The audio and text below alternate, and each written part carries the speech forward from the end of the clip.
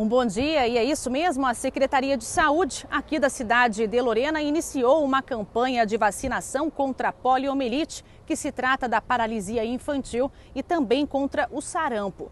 A vacinação vai seguir acontecendo todos os sábados em todos os bairros aqui da cidade em que as unidades de saúde possuam salas de vacinação. Segundo informações da Secretaria de Saúde, a ação é voltada para crianças de seis meses a cinco anos de idade. Qualquer dúvida, pais e também responsáveis legais podem procurar a unidade de saúde mais próxima de sua casa para tirar as dúvidas.